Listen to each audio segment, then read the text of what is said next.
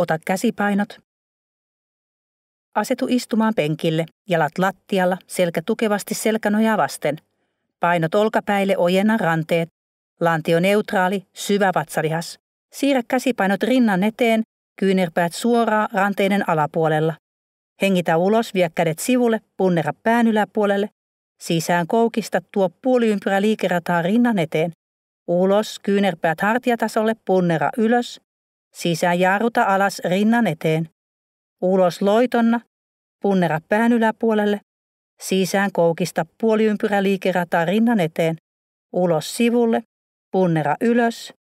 Sisään koukista tuo rinnan eteen. Laske painot alas. Palauta painot telineeseen. Hyvä.